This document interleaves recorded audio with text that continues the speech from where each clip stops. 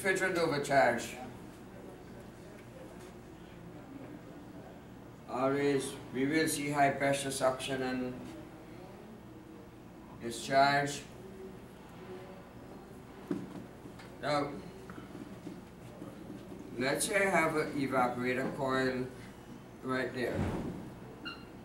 And this is my cap tube metering device. For a refrigerant on the charge, this will start freezing right here. You get a frost line. If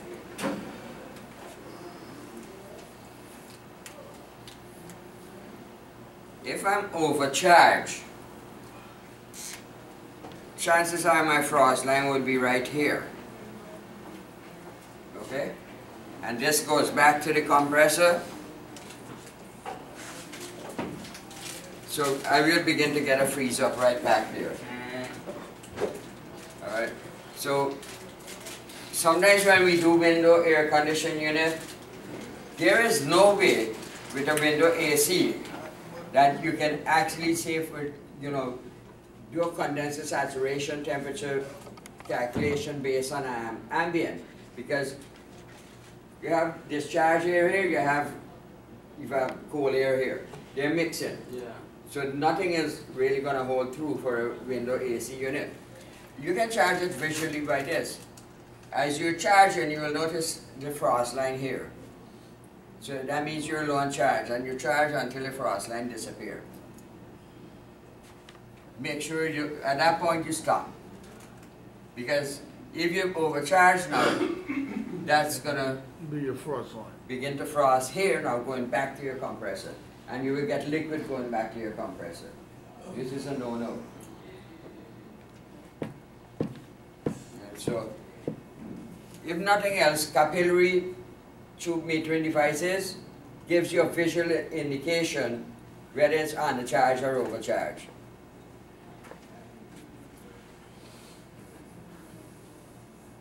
Now, of course, regardless whether it's um, actually let me go back and do this thing here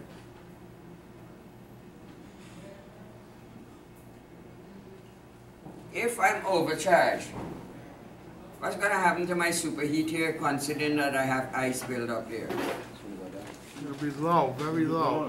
very low superheat right Almost nothing. If you yeah my superheat may be next to nothing Right. all right see that's what it says there so if I have low superheat I know I'm overcharged, but this applies only to capillary tube system. TXV, if the valve is good, win, loose or dry, it's gonna maintain, try its best to maintain at ten Superheat. degree superheat. Stubborn. What you will see here is excessively high head pressure.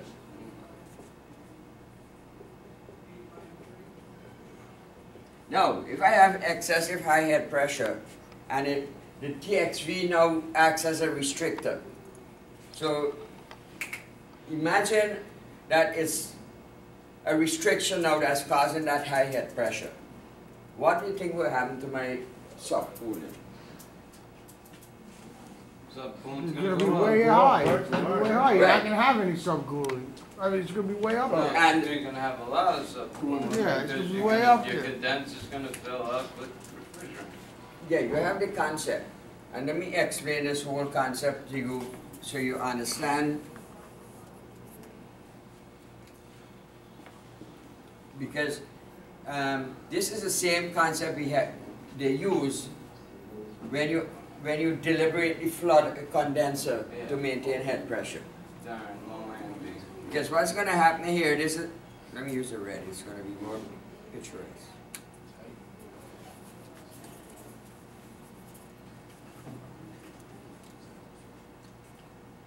See, let's say,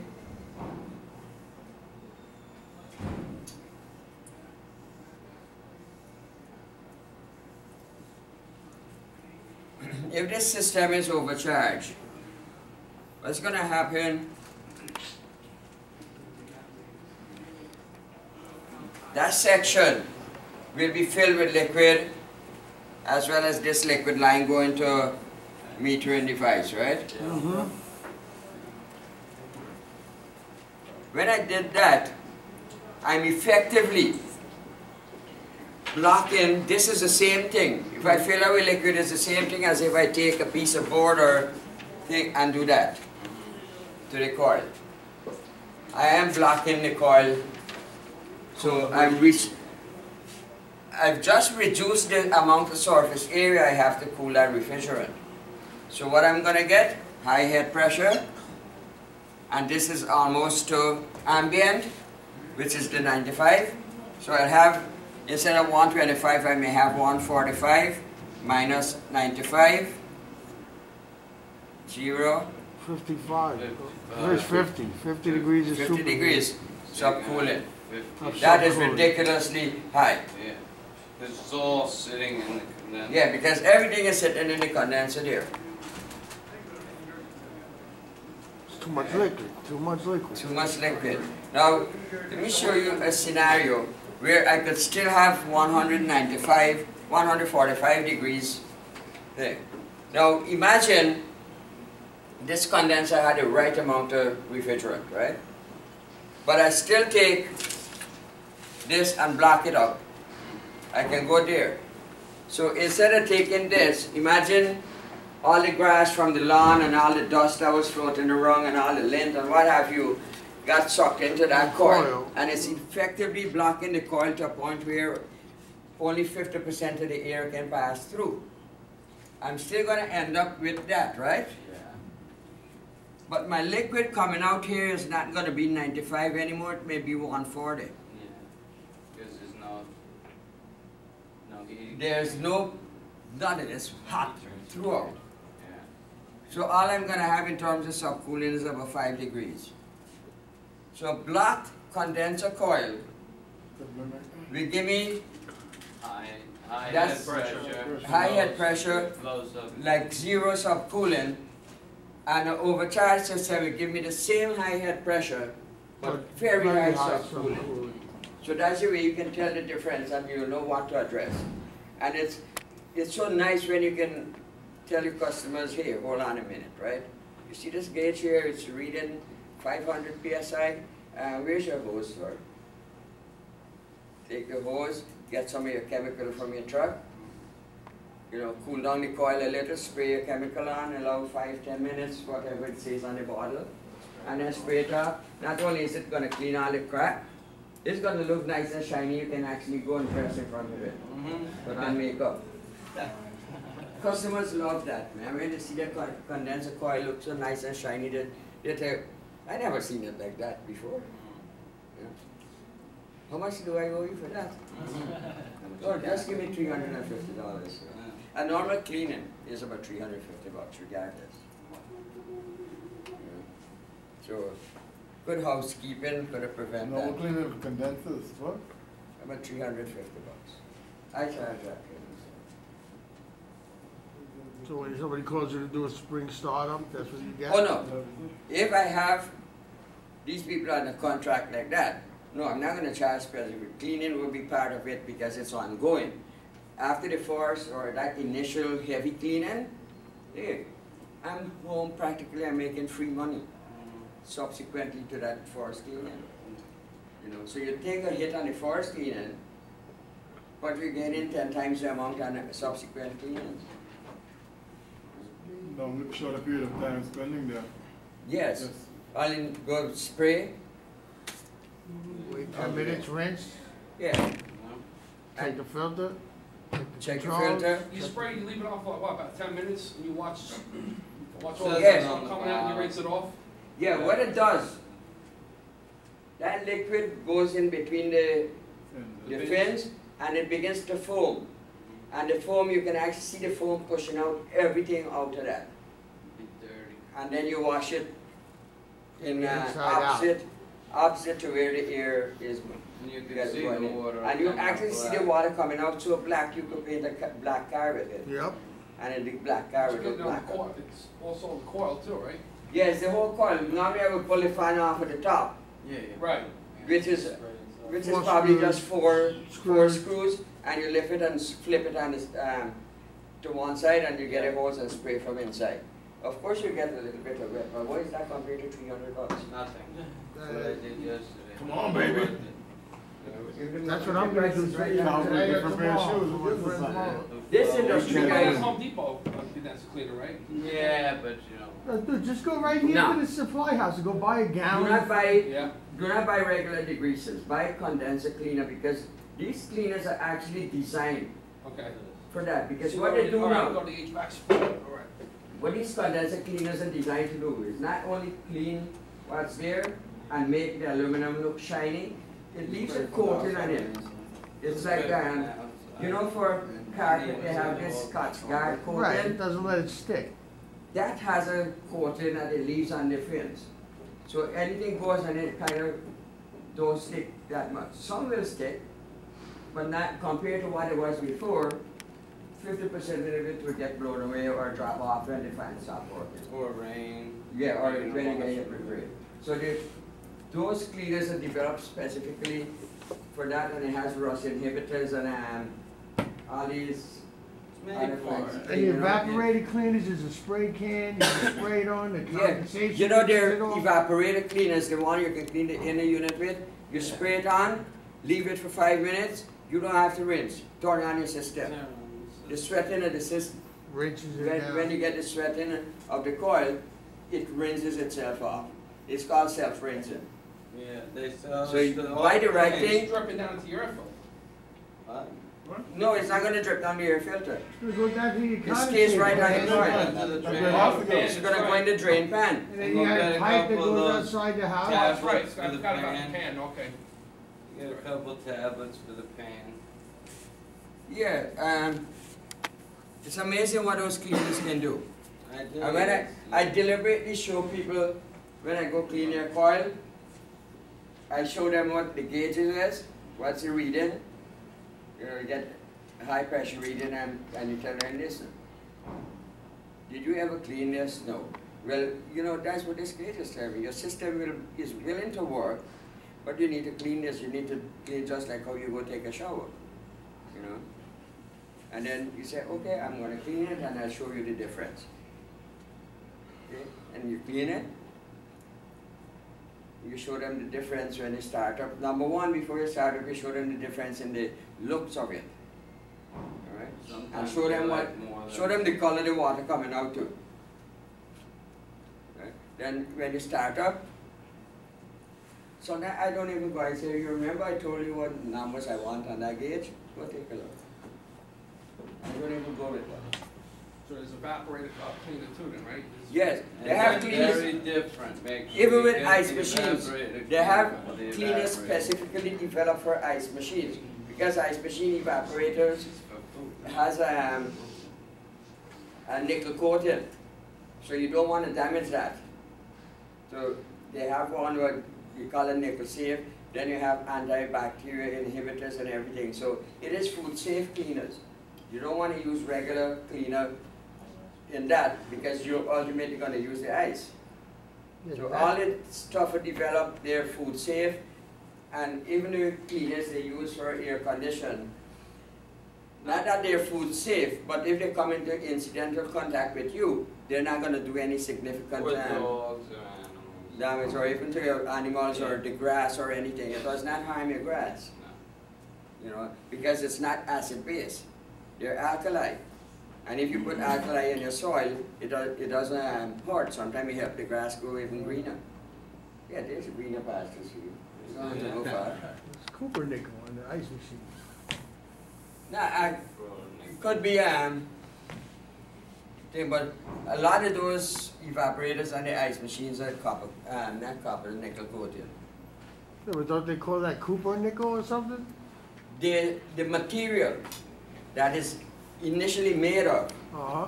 will be that, depends on condition. But then they still send that to be coated with With the nickel on top of it. nickel on Nickel top. on top of the cooper.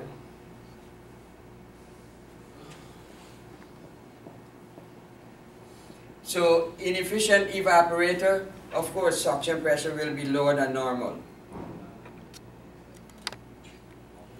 Thing is, if I cannot absorb enough heat, if I don't have enough heat exchanging, of course, I will get a low pressure, right? But then what's causing that system not to exchange the heat? Number one, it could be evaporated itself is now um, coated with a thin coating of dirt or dust and what have you. Okay? And it, see what it says, dirty or block coil de- defective. So you're not getting the full flow of air across the coil, in other words. So it- it's not exposed to the amount of heat. Yeah, it's not exposed to the amount of load that it needs to be exposed to. Okay? Um, and if you notice, it's either air, actually, it's basically it's air problem here that causes a inefficient evaporator. Because even a dirty or black coil is restricting airflow. Everything is based on airflow in this industry too, guys. So if you go in there and you see you have two fan motors and only one of them is running full speed, the other one you will see it running if it's not normally going to run, if it went bad, and but it will be spinning backward. Yeah. And that. Classical indication that that's the one that's bad.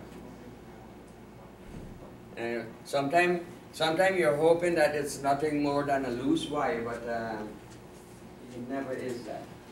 So you always have to take it out and change it. They're pretty easy to change anyhow, evaporator fan Oh, hell motors, yeah. You know, the only thing, in a freezer, your hand gets stuck to all the metal parts, and they come out there. You have all your fingertips are kind of, Ripped off. if they're not ripped, they kind of feel like it's red. Yeah, because when we used to change them in the, in that blast freezer, Oh yeah, it you was freaking, you know, you, you work with gloves, but you can only, they're a little bit tough to work with. The only blast chillers I'm gonna work on right now is those portable ones. You know, they have this small Yeah, one yeah, that's in yeah, the yeah. restaurant. I'm, I stopped working on blast chillers in industrial set- setting, not maybe. I'm too old for that shit now, you know? Because you gotta be absolutely careful working in those negative forty degrees, ten. You know, you go in there, you know there's a song that takes my breath away. That one takes your breath away. You know what a song means when you go into a freeze like that. It takes everything away. You know, we had the freezer suits, we had to have the suits. Yeah. Yeah, you put on a suit, but how much can you cover?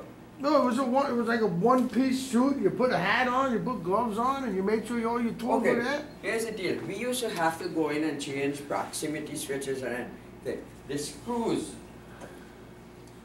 Some of the screws are half the diameter of this, and the nuts are even smaller.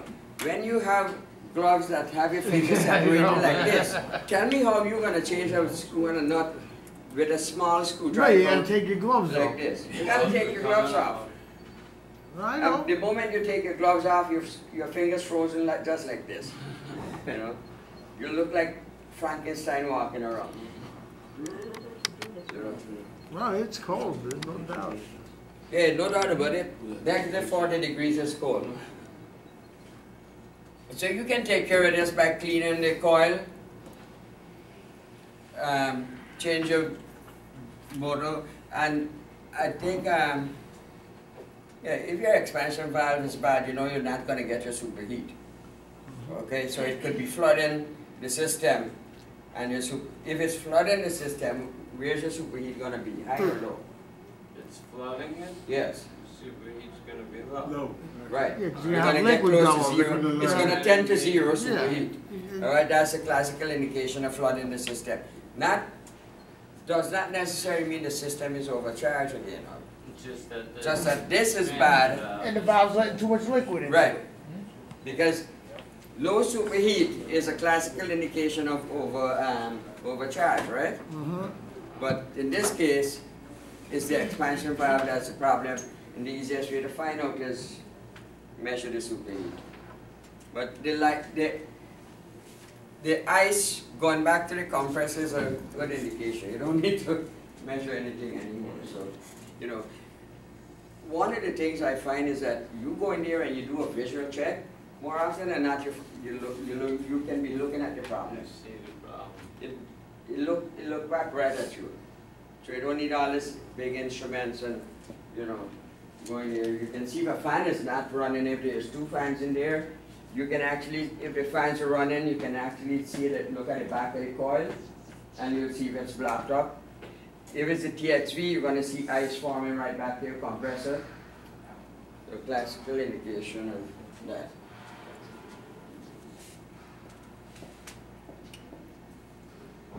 Uh,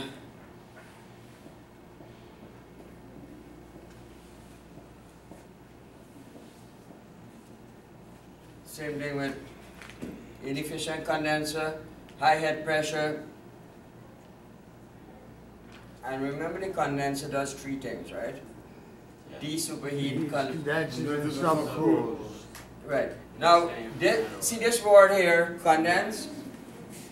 Typically, um, you, you can actually substitute the word cool here, right? De-superheat,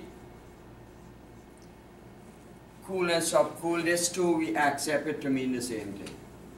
When it's used with this two. Okay, so guys, if there is a question like that, Cool condenser. that flexible, that, that flexibility is there with Now the that would be answer, right? duper, de-superheat cool and subcool is what you would say, right? Yes, because you, you cool in order to condense. Right. Yeah. So this is the process, this is the result, okay, in that order. in that order. And then of course you will get more subcooling in your line set. But refrigeration systems, um, unless you have remote thing, we don't really have that long of a line set to consider, you know, very rare, but, um,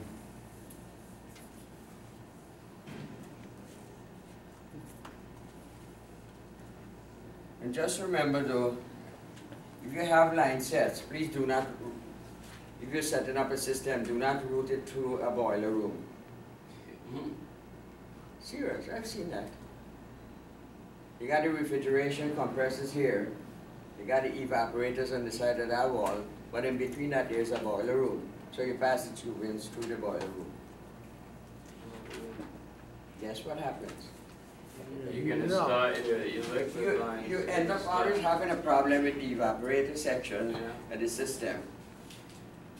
But you can't do anything because of the boiler room in between. Mhm. Shut the boiler off. One of the places, I told you guys I work at a restaurant, Keller's. Yeah.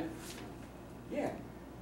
Fifty percent of their refrigerant, refrigeration, actually one hundred percent of the compressors are in the basement.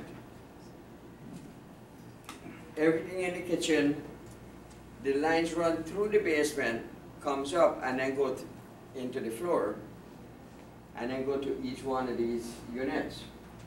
So, summertime, will just leak. I always have problem with those units.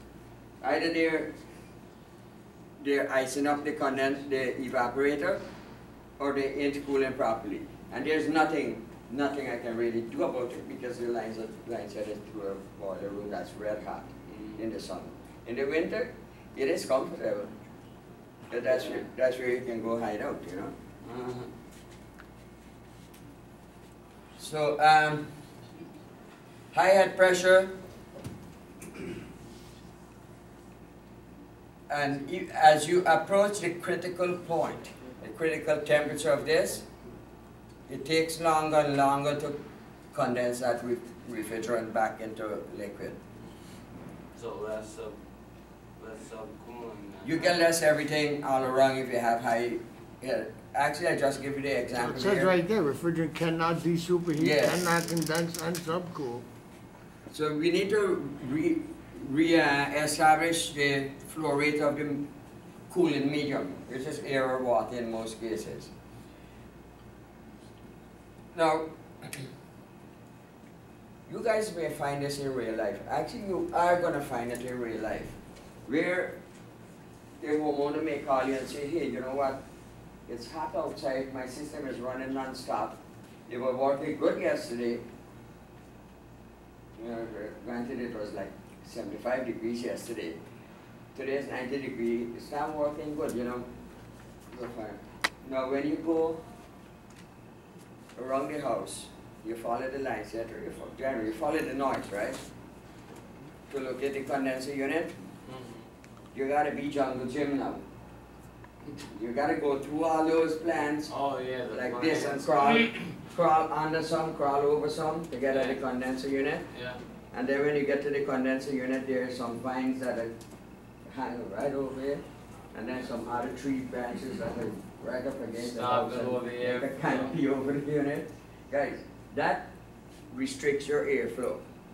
So all the air comes right off the top and goes around like this. yeah. It recirculates. So if we have recirculating air, my head pressure is gonna stay sky high. Okay? You know, if you're unlucky, it's gonna trip the, um, the high head pressure switch that they have in there. And by the way, each of them have a high head pressure Oh. control, which is, Oh, it's um, internal. which is manual.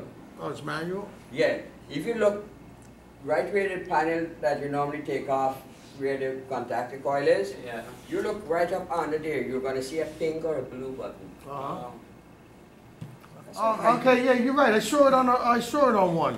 On a That's friend of mine, it it. was on, it was underneath though, it was in the bottom. Yes. There was a little Yes, tiny hole. You gotta know where to Yeah, look. There was a little wanna tiny hide hole and it said. Yeah, and that little button, if you press it, you're gonna hear click, it's a breaker. You're gonna hear click and it resets that's right, itself. now I recall that. Alright, and that's a high head pressure cutout. yeah. So, you gotta, um, clean all of this here. A lot of people don't wanna cut down their plants, but you have to No. tell them, hey, you know, this thing needs to breathe. Without it breathing, you cannot get the air conditioned, so it's your choice. Stay hot and uncomfortable and complain to everybody. Or you can cut this down and you don't have to complain to nobody and you're gonna be comfortable. Oh, Almost in plan. So most of those plants are the air conditioning unit, most of those plants are more or less stationary. Yeah, You can't move them. I know. You can trim them, I mean, yeah, common sense would tell you that. Yeah. I told the Go guy with the common yesterday. sense. Yeah, but see, common sense, like you just said, it's never, it's never there when you need, you know, Not too common, really. it's not too common, yeah. Yeah. Oh yeah, it's like perfume. Yeah, c- common sense is like perfume, right? The ones who need it most. Yeah. Uh, I'm not fucking using them. What? That's not great.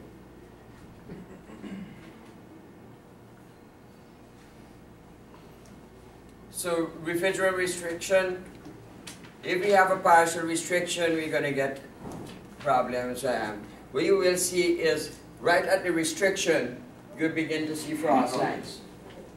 If you have a full restriction, of course, your low side will be extra, extra low, and your high side will be extra high. And you'll have ice Alright. or, or frost, right?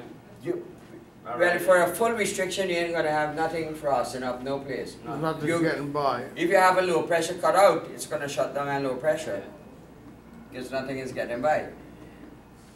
King tubing, one of our biggest problems um, in refrigeration system, especially those little boxes, deli boxes I keep mentioning all the time. Because when you do a service, you have to pull that compressor unit from below. And Yeah. These guys, you need to pull it two feet, but they put 18 inches of tubing only.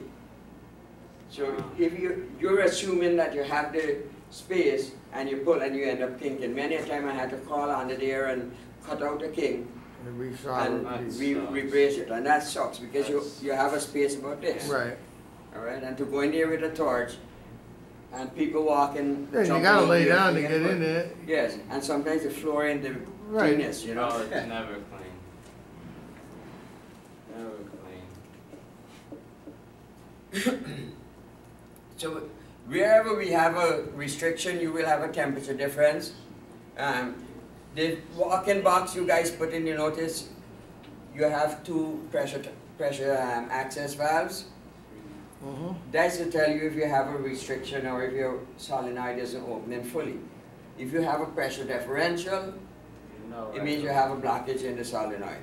You will, you can read it, but then a temperature, temperature measurement will tell you that you have it. If you have one degree change, you have a restriction. Granted, the system will work with a one degree differential for now, Right, but it's not gonna get any better. It's only gonna get worse. Murphy law, right? Yeah, where, where did you say the, with the valve? I didn't see the valve on there. Yeah, The- it's two the liquid line solenoid? Oh, right, right, right, on the Right, liquid it- line solenoid, liquid yes. Yes. solenoid, Just two threaded. Yeah, the only problem is we have no four oh four, we can't check this thing. We can't, it's just the do yourself a favor, and I'm gonna see what I tell Mr. Conklin, is, no, I'm gonna tell him, but, um, we can use MO, rebuilt the we can use thing, MO, You know, we can use MO, um, MO, ninety-nine, Well, But do they have that?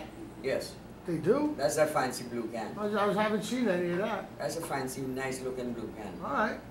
Um, what I did last night, that I noticed this somebody had leave it on, and it was short cycling, and um, right where you guys had hooked up the low pressure control, yeah. Yeah, the so, flare nut was leaking. All right, so I took the flare nut from there because the system was empty, and I put it on the suction service valve.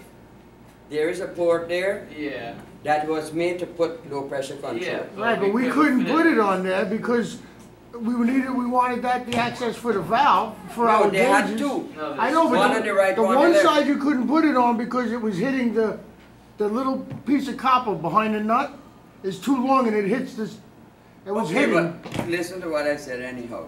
I took it off with a little access you raised Yeah, into we the put three quarter line. I Right. put a Schrader valve in that so it can't leak out and a cap. That's okay, that's isolated.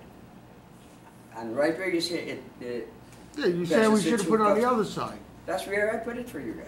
I said, but why?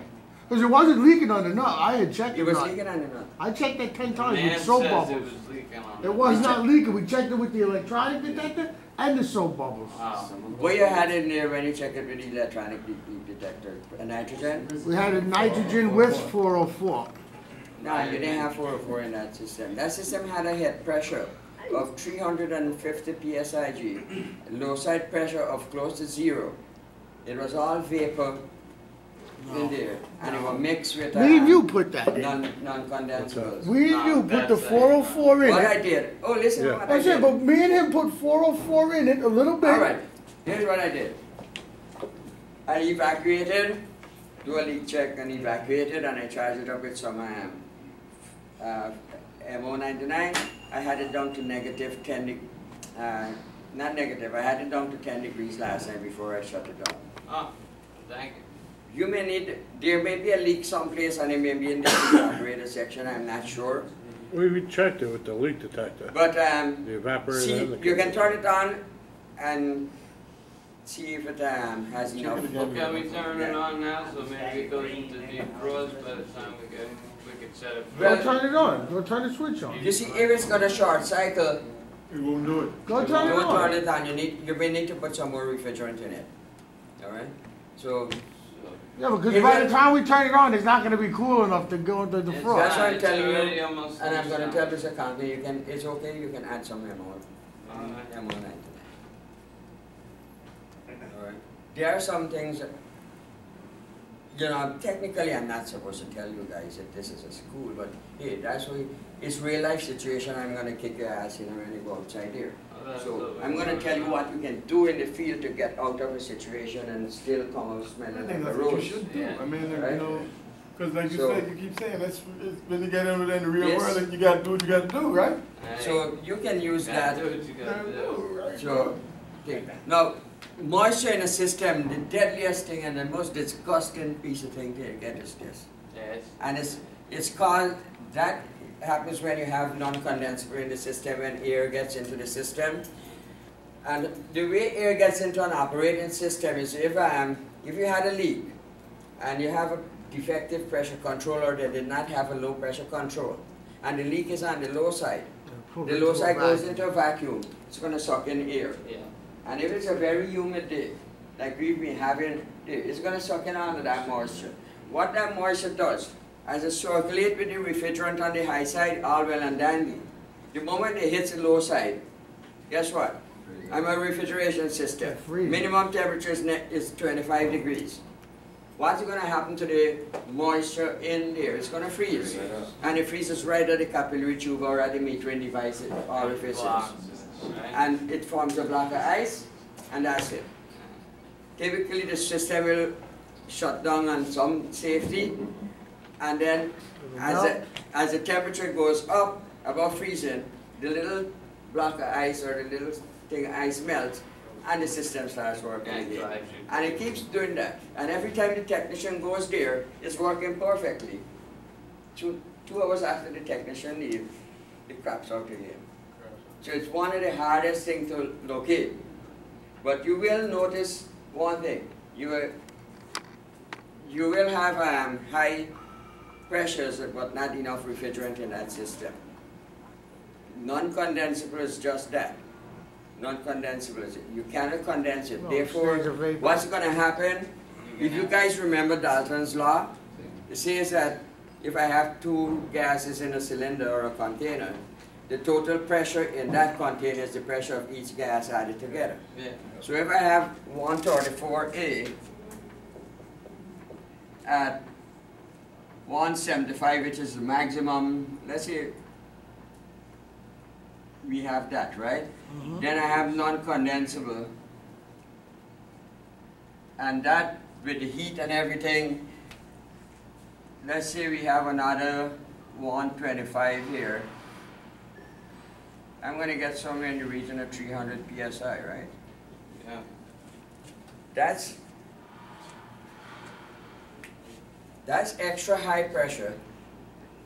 And I have a um, capillary tube metering device.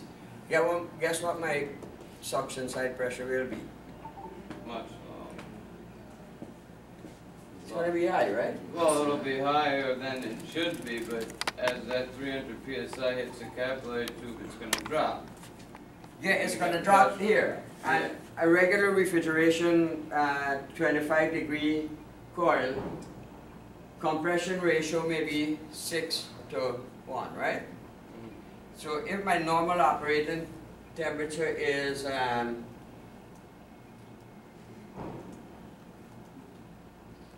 You can ice? no regular wa- regular reaching 35 degree box, Yeah, Um, twenty-five. six to one. No? let me see. um, my normal head pressure for 134. Let me let me say for this day it's 120 psi G, right? Okay. Six to one. That means my low side should be somewhere in the region of um, 20 psi, right? Now, when I go up to 300, it's still six to one ratio because it's fixed. That's It's gonna be around fifty PSI psi. on your 50 psi would give me a temperature way like 60 degrees or something like that. Yeah. So that's how the numbers show you what non-condensable does. Bad. So in that case, what would you do? You'd recover it, Yeah, after. evacuate it, Recover. Recover, put recover. a charge in? Back And, um, down. Chances are, whatever it was, they fix a leak or something, because it's not gonna hold that kind of pressure if it had a leak. Alright, so they probably fixed a leak and then did not evacuate, just shoot gas into it. Gas right there, right? Alright, that's exactly what some guys do. And you're gonna get into, you're gonna see this situation. I had this situation a couple of times with ice machine I was charged. When I opened it up, you know, it's showing, hey, pressures are high. Yeah, we open it, just vapor coming out. No liquid refrigerant. So, see how the numbers, Kinda it can't condense to a liquid. So it's you can't condense, it's non-condensable. Yeah. So, um, and you see improperly set valves too, that's why I'm telling you, do not touch your TXVs. Leave it be. Alright? What time is it? Oh, we have five minutes more. So you said that M, what that MO ninety nine, what's you're saying that's uh that's somewhat of a substitute for four oh four? No, it's a substitute for R22. But you see, if the system, any system that Um, But we're talking about the one, the freezer we got back there, that's four oh four. Yeah, but it'll work in it. yeah, um, So, so how's it is not- gonna work. So, so it's somewhat of a substitute then, yeah? Yes, it's a substitute, but um, It's an See, one. the thing is with all these new blends they're coming out with, there's a, a lot of them have the have a single Single component that's common, and they, their behavior kind of like pretty close to each other. Alright? So, so long as we have POE oil in the system, you're safe. It's not gonna work one hundred percent because the expansion valve ain't that good. We need a new expansion. Yeah, we knew that from the beginning, though, we didn't have, that was the nicest one. Oh, we had that thing down to temperature, uh, what was it that day, Dan? Eighteen degrees? Yeah. But then we had the problem where the capillary Ah, you know what, guys? pressure control. John, I got a light from here, I'm gonna do a quick, But very quick, um, very quick attendance. Hi, everyone's here. I'm done. Oh, yes. They're in the bathroom. In the fourth stall. the big one, the handicap stall. I tell you what, if they're full of crap, they're in the wrong place. Where Kenny? Where Kenny out here? Oh, algae? I don't know algae. I mean, I know what it is, but it's